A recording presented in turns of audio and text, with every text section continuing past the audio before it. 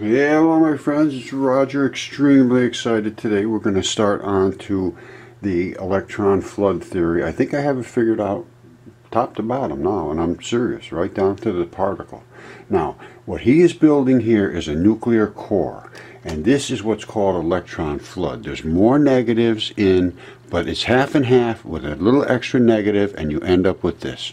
And that is what electrons do in their quantum states. They can be flooded and they will jiggle and they will do all kinds of things creating heat and light. Heat is when they start jiggling around and the more they jiggle, the more they heat. Sooner or later, they take off into space and when they do that, that is what is called light.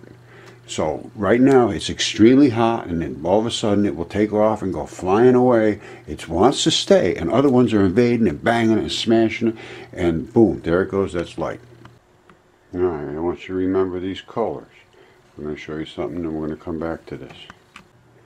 Now we're going to go into this deeply, but this is just a quick brief explanation of the pulse red laser light, the glowing ether in the air, the accelerated pulse laser light, uh, laser light being accelerated through a venturi, creating Cherenkov Bose radiation, crashing into the air of space, which is nothing more than the medium that is is is um, just a flat dead space. These are extremely accelerated particles, and they highlight a field around them as that charged spinning particle crashes into that dead space of ether. Creates those little magnetic fields around them. Now, this is a new particle that nobody's ever heard of before because this is a portion of a Higgs field of light. Now, this is 8,000 times lighter than CERN. And that is, I would say, lighter than that. So I don't know what to say about that. These are the particles that we actually see. And this is what we're going to talk about in depth because I'm going to tell you right now, that's the only thing that exists right there. That's the only thing there is. There is no protons, there is no neutrons, there is nothing but these in quantity with an up and down spin. All right, this is this. These things are hard to work with these magnets, so I'm not going to get too involved. But you see how I have, and they're very nasty looking because I have a hell of a time painting them too. They snapped all over, and I, I mean it was a mess. I got all over my hands. Anyway, the you've got the red and the green, uh, red and the blue is your positive, and these are your negatives. Now, I showed the they, they must have an up and a down spin because this is identical to if I turned it over. There is no difference. And this is a two dimension, but if I had this same exact same thing bashed up to it or on top of it, it would make a block, a four banger, like a square, a, a cube, which I showed before. Now, this can go under here and it'll pull up to this side, but here it pushes, oops, it pushes it up, see? So if I had this one tipped like this and another set of these underneath, it would just snap right up there, boom. And that is your four banger. That is a photon. That's the smallest photon. It's neutral in charge because there's no, this one here has a charge that when you add the two of them together underneath, you end up with a no charge, a neutral, let's say. I mean, there's charges all over the place, but it's a neutral in its its presentation to the world. The other ones have a plus, and the other side is the negative. I, I, that's all I can say. Or they spin off somehow differently. Because if I turn this over, you're going to see no difference whatsoever. You see what I got here? Blue and these here, and I painted the other side with a lot of trouble and they are the other side of the greens and the reds. So if I turn this completely over, which I'm going to have a hard time doing, they're tough, these things. All right, there we go. So I got the same, exact same thing here. So if I go under with this one or over with this, it doesn't make any difference. If I come up under, there it is. Same deal. No difference. Ooh anyway, there uh, and, and there's over. I started pushing the whole batch of them back and forth together. It's just amazing how it ends up creating different patterns. And as you start making, here, let me show you how, I, I can only just show you this because I don't have enough magnets to really do it. It's like a Rubik's Cube, uh, cube on steroids times a million. There's 1,836 of those pieces. All right, 1,836 of them. Of not, not these pieces, of these pieces. So there's four of each one of those. And there's 1,836 of, of a four banger. All right, so 4 times 1836 is the total number of tiny little magnets like I just showed you, or, or magnetic spots.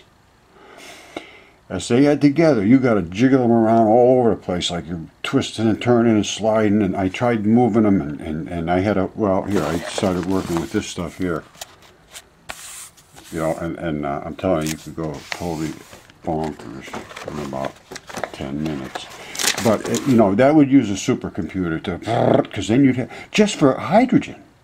And this is just H1, I mean 1H, the, the, the, the protium, the, the basic, basic hydrogen is, is a chunk of this stuff, which is 1836 of these things, well, 918 and 918, then one addition, and then they go, and they create a ball like this and then one will be floating out in space around it like this.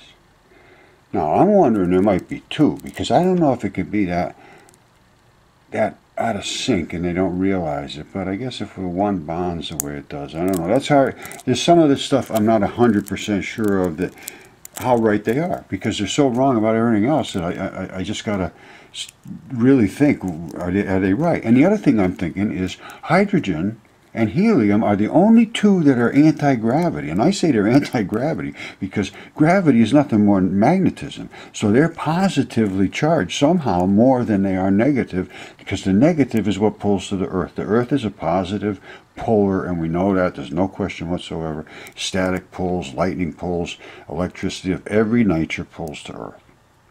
So something's going on there. Anyway, what I was talking about before is you have the two little plates. You have your black ones and your red ones, and you have your blue ones and your green ones. Snap together, and that is a photon, which is neutral in, in its, well, here it is right there.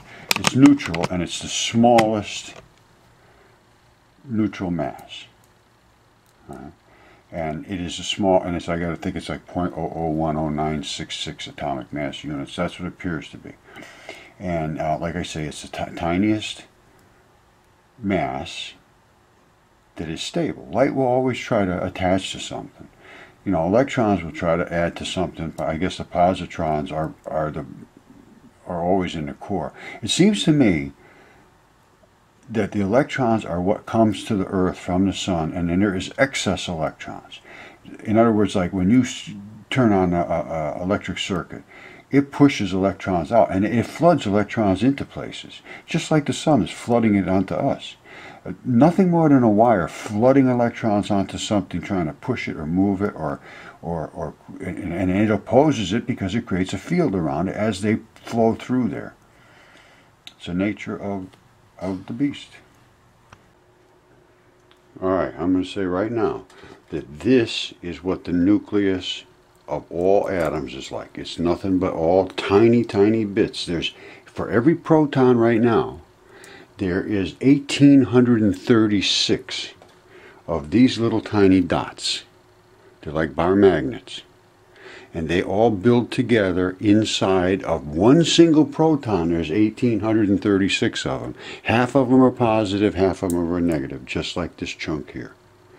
Now, hydrogen will be this core of 1,837 bits because it's neutral at 1836, 918 and 918, and 1837 attaches down here and it says, okay, now I am a negative core.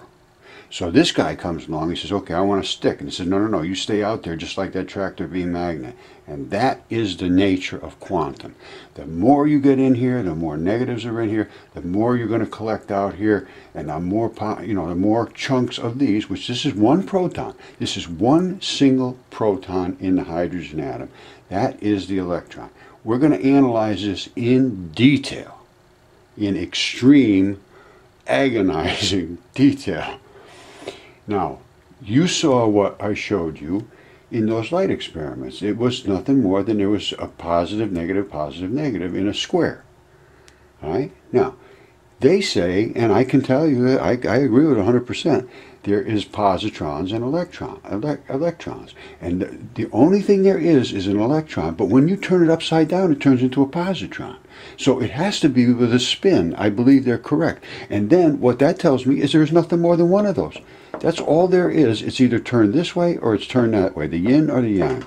That's all there is. And it's a small, and then if once you add two of these together, and I'm going to show you right in a second how they add together, and they make a block just like this. You see the black, green, the black and the red here, and then on the other side of the block coming this way, you see the blue and the greens. They smack together, and I made a little model I'm going to show you in a second. And so you have downs and ups. You have the, the black is the down, and the red is the down. The up is the blue, and the up is the green.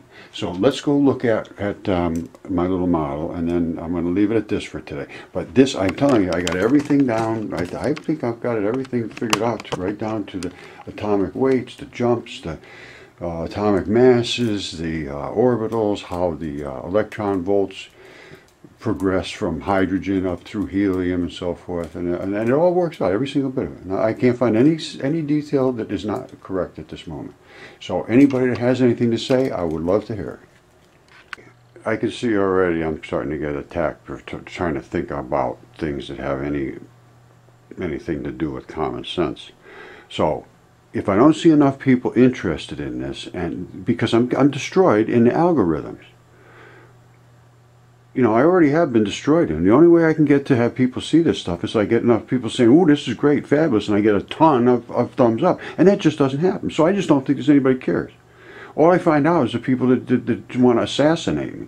So I'm going to change this to a whole other channel, probably, unless I see this happening. I'm going to put this up and see what happens. This is serious stuff, and I don't want to get beat up by people that have no idea what they're talking about, and they just want to pester me. So I, I know I went berserk the other day, and I'm I'm, I'm really fed up with it. So I'm just going to move everything to another un, unknown channel that uh, researchers will go to if if if you know nobody's interested in other than this flat Earth crap.